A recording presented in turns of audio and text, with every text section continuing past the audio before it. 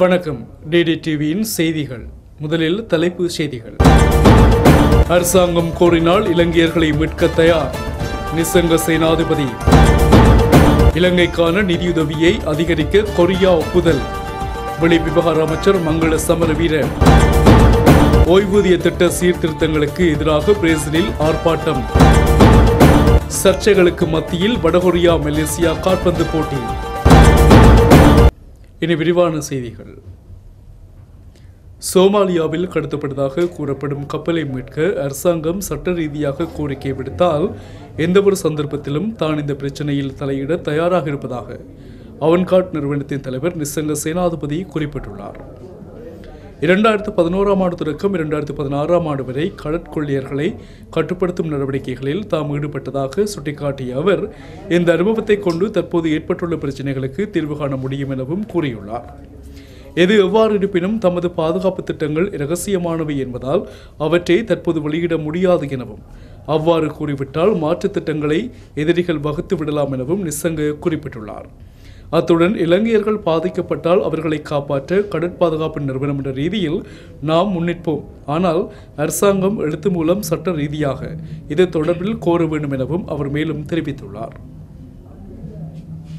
இலங்கையின் பொருளாதார அபிவிருத்திக்காக தென்கொரியாவினால் வழங்கப்பட்டு வந்த நிதியுதவியினை மேலும் அதிகரிக்க தென்கொரிய வெளிவிவகார அமைச்சர் ஒப்புக்கொண்டுள்ளதாக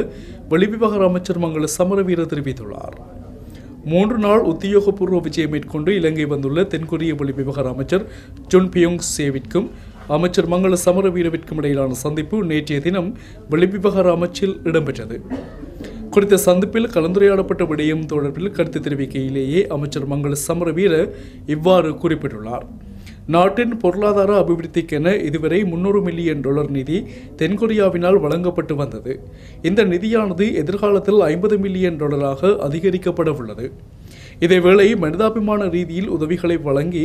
இரு நாடுகளுக்கும் இடையே உண்மையான நட்புறவை மேலும் வலுப்படுத்துவது தொடர்பிலும் குறித்த சந்திப்பின் போது கலந்துரையாடப்பட்டதாக அமைச்சர் மேலும் குறிப்பிட்டார் இலங்கைக்கும் கொரியாவிற்கும் இடையே ராஜதந்திர உறவு ஏற்படுத்தப்பட்டு நாற்பது ஆண்டுகள் பூர்த்தியாகின்ற நிலையில் ஆண்டு பூர்த்தியை கொண்டாடும் வகையில் தென்கொரிய அமைச்சரின் இவ் இலங்கை விஜயம் அமைந்துள்ளமை குறிப்பிடத்தக்கது பிரேசிலில் ஓய்வூதிய திட்டங்களில் மேற்கொள்ளப்படும் சீர்திருத்தங்களுக்கு எதிராக நாடளாவிய ரீதியில் இடம்பெறும் ஆர்ப்பாட்டங்களில் பத்தாயிரக்கணக்கான மக்கள் பங்கேற்றுள்ளனர் பிரேசில் தலைநகர் பிரேலிசியாவில் நிதி அமைச்சகத்தை முற்றுகையிட்டு ஒரு சாராரும் சாவோ பாவ்லோவில் மற்றொரு சாராரும் ஆர்ப்பாட்டங்களில் ஈடுபட்டுள்ளனர் மேற்படி ஆர்ப்பாட்டங்களால் நகர போக்குவரத்துக்கள் யாவும் ஸ்தம்பிதமடைந்துள்ளதாக தெரிவிக்கப்படுகின்றது ஓய்வூதிய நலன்களுக்கு உச்ச வரம்புகளை நிர்ணயித்தல் மற்றும் ஓய்வு பெறும் வயதை அதிகரித்தல் போன்றவற்றால் நூற்றாண்டுகளுக்கு மேலாக மோசமான நிதி நிலைகளை சந்திக்கும் பிரேசிலின் பொருளாதார சரிவுகளை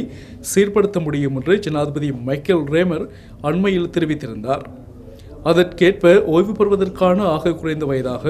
அறுபத்தி ஐந்து வயதை நிர்ணயிக்க வேண்டும் என்று பிரேசில் அரசு தீர்மானித்துள்ளது அரசின் இந்த தீர்மானம் ஓய்வூதியர்கள் பலரை அதிருப்தி அடைய செய்துள்ளது எனினும் பிரேசிலின் பொருளாதார சரிவை தடுக்கும் வகையில் ஓய்வூதிய திட்டத்தில் சீர்திருத்தம் அவசியம் என்பதில் அரசு திடமாக உள்ளது இந்நிலையில் அரசுக்கு எதிராகவும் ஓய்வூதிய திட்டத்தில் மேற்கொள்ளப்பட உள்ள சீர்திருத்தங்களுக்கு எதிராகவும் ஆங்காங்கே ஆர்ப்பாட்டங்கள் இடம்பெற்று வருகின்றமை குறிப்பிடத்தக்கது மலேசியா மற்றும் வடகொரிய அணிகள் மோதும் காட்பந்து போட்டி எதிர்வரும் ஜூன் மாதம் நடைபெறும் என ஆசிய காட்பந்து சம்மேளனம் அறிவித்துள்ளது இரு நாடுகளுக்கு மத்தியில் பதற்ற நிலை நீடித்து வருவதனால் இரு அணிகளும் இப்போட்டியை புறக்கணிக்கும் என எதிர்பார்க்கப்பட்ட நிலையில் இதற்கு ஆசிய காட்பந்து சம்மேளனம் முற்றுப்புள்ளி வைத்துள்ளது ஆசிய கால்பந்து தொடரின் தகுதிச் சுற்று போட்டிகளில் இரு நாடுகள் பங்கேற்கும் போட்டி கோலாலம்பூரில் எதிர்வரும் ஜூன் மாதம் எட்டாம் தேதி நடைபெறும் என தெரிவிக்கப்பட்டுள்ளது